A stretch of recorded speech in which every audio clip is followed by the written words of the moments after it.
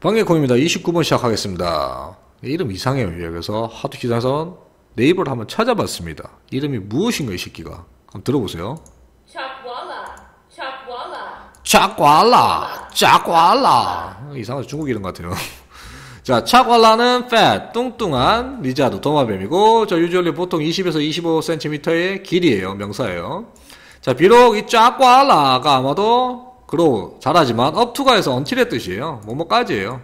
한 45cm까지 자라지만 뚱뚱해요.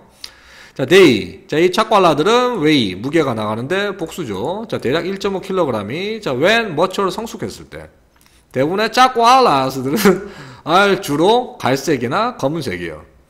자, just after 바로 직후겠죠. 바로 직후에 1년의 molt. 에서는 껍질을 벗은 후에 자, 피부가 빛나게 돼. 자, lines는 줄들이죠. 또 어떤 줄 하면 dark brown. 자, 갈색의 어두운 갈색의 선들이 run. 그래서 뭐 질러단 질러 간다. 자, along the back 등 사이를 그리고 지속적으로 내려가는데 꼬리를 또 잠깐 그림 보여드릴게요.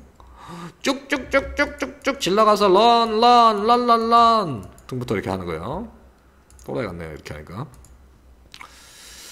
자, 그다음 자, as 왜자 as는 따라서 when 뜻이겠죠.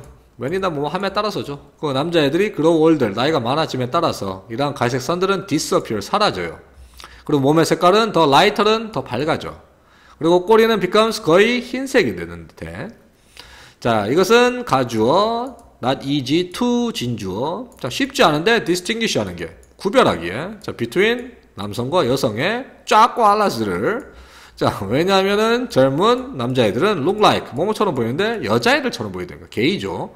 자, 그리고 더 큰 여자애들은 남성처럼 보기 때문에 이것도 여자 게이 남자들 좋아 그만하겠습니다. 그래서는 특징은 쫙과 알라스의 특징이겠죠. 그래서 답은 4번입니다.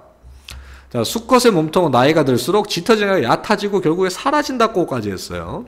그래서 29번 마치겠습니다.